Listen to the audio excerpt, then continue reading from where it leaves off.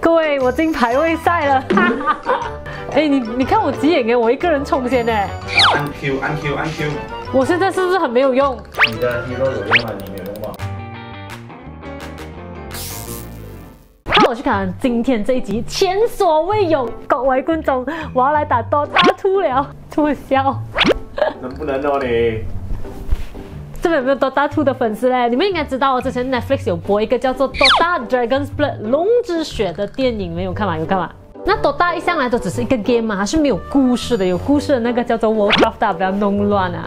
那这个 series 是第一次以 Dragon Knight 作为主角，给他一个故事。那么我是不是配合这个 series 的出现啊？那个 w o l f 也在 Dota 2里面出来一个叫做 New Player Mode，New B 模式，就是。你不要，就是给那种不会打多大的人玩的。所以我们现在就开始吧。开始之前，先把我的电脑搬进来。我去搬，我去搬。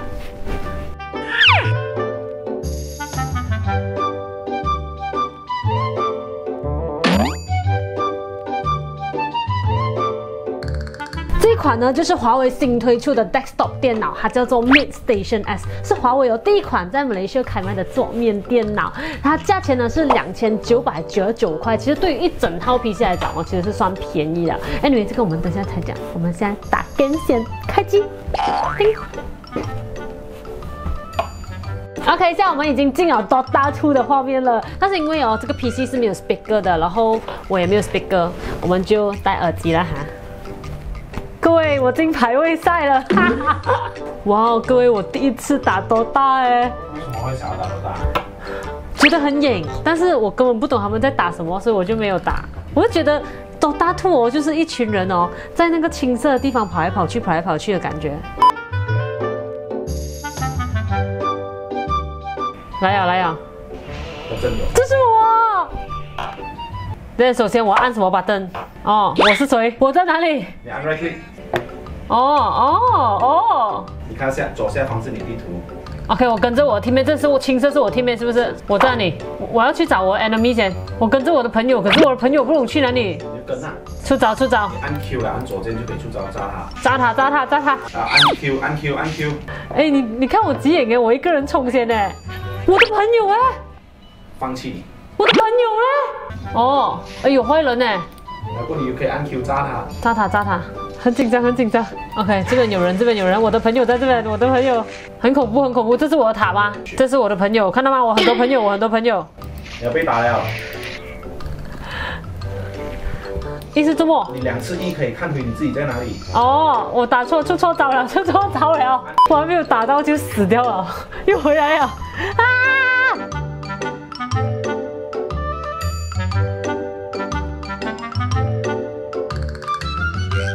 我现在是不是很没有用？你的 hero 有用吗？你没有用吗？我有什么 skill 可以出啊？你如果他跟你打架，你就按奥迪跟他打架，好不好？奥迪就是你第四招。sexy 啊你们！啊啊啊啊啊啊啊！啊下水了，看到吗？哦，然后我就死啊。因为你落水。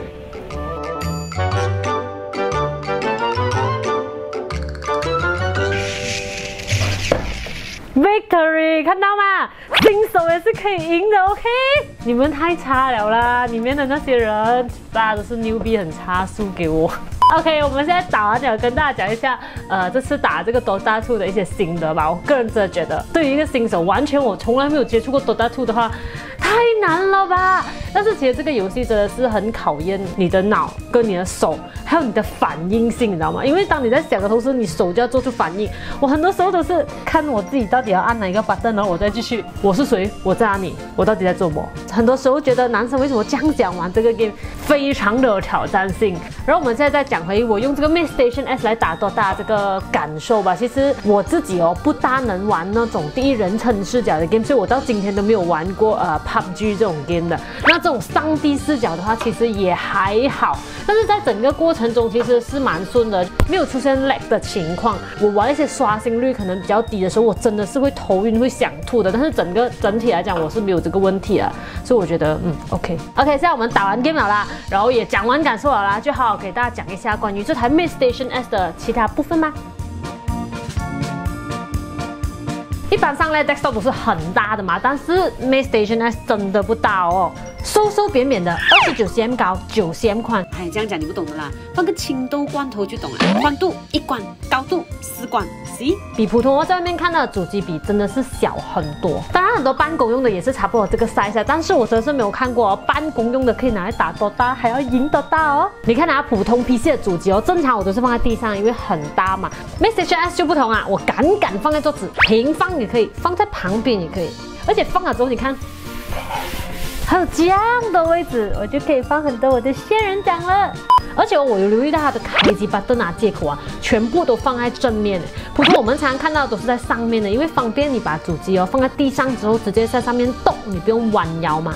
这样 Miss Station 呢，它就特地放在这边的原因，应该也是想要跟你讲，我很小啊，please 不要把我放在地上。设计上面呢，全机身磨砂材质，不沾指纹，一条条那种镂空斜线配上横纹哦，有一种流星雨的 feel 有没有？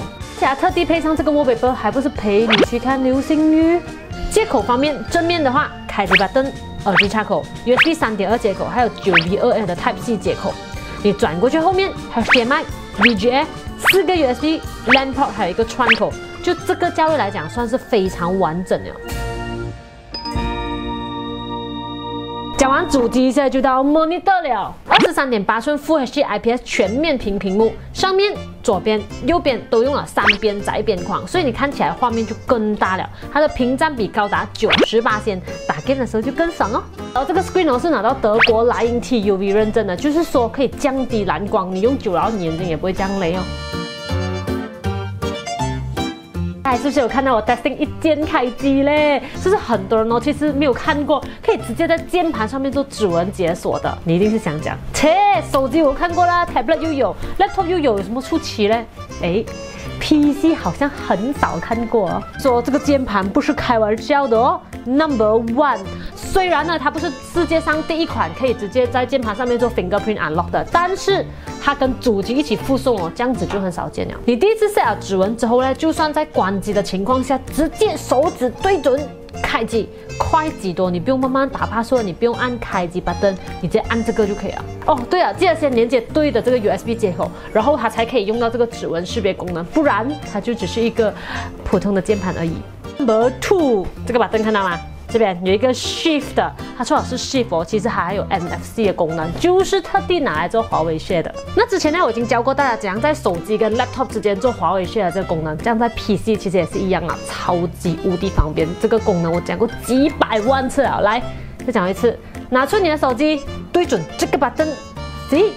画面就无缝连接转过去啊，什么照片啊、影片啊，直接在手机 drag 过去 PC，或是直接在电脑 reply WhatsApp，手机不用动的哦，这样你就不用一直电脑手机、电脑手机啊，这个有事情你会拿上来。这样麻烦的嘛，拿上拿下浪费时间啊！而且哦，这个华为 Share 它还可以做这个 Multi Screen Collaboration，就是可以同时间一次过开三个 tab。这样具体它是什么嘞？我们等下再解释。至于键盘的打字手感，我是觉得还可以了。它的键帽我特地做成大键帽，没有这样容易打错字。键程 OK，回弹 OK，声音也不是太大声，哒哒哒哒哒那种，算安静的。就算用来打多大，也不会吵到其他人。而且我整个键盘的设计是比较薄的，电视机 remote control 都比它厚嘞。还有滑鼠，但是它就是一个普通的滑鼠，没有什么特别功能。但是手感握上去是舒服的，手腕的角度也是 OK，它不会太扁，它不会太高。但是手比较大的男生建议还是用自己的滑鼠啦。重点来了，这个键盘呢，还有这个滑鼠哦，是不用另外买的哦，是一 set 的，就是你买这个 desktop 来的时候，它就已经是一 set 一起来的。讲到这个 m a t Station S 跟手机做了这个华为 Share 之后呢，就可以二合为一了嘛。那除了 Normal Drag 照片、影片，其实还可以做多屏协同。意思就是你在手机做的东西，你可以分身。我做个比喻啊，现在打开 Facebook 看东西，然后这边有一个加的按钮，你按一下。同样的画面就好像 copy paste 像 paste 过来了，你变成 double screen，你变成 triple screen。那同样的一面呢，可以变成 calculator 啊，WhatsApp 啊，同时开更多 tab 的意思。然后你再开个 Word 文件搬来搬去，成为了真正的无缝连接。那配置方面呢，这个 Mate Station S 搭载的是 7mm 工艺制成的 AMD Ryzen 5。四六零零 G 处理器，内置融合式的 MD Radeon 显卡，有八 GB DDR4 RAM 加上二百五十六 GB 的 PCIe SSD，再加上双 WiFi，还有蓝牙五点零，基本上处理日常工作真的是完全没有什么问题啊。甚至得空的时候还可以拿来打多大听。但是如果你觉得还是不够用的话呢，像是 SSD 啊、RAM 啊、Graphic 卡这些，你可以自行 upgrade。至于拿来打 game 讲呢，想看多大的就滑上去啦。我现在玩 Genshin 哦，sorry。叮。哦。对啊，是不是没有听到电脑风扇的声音嘞？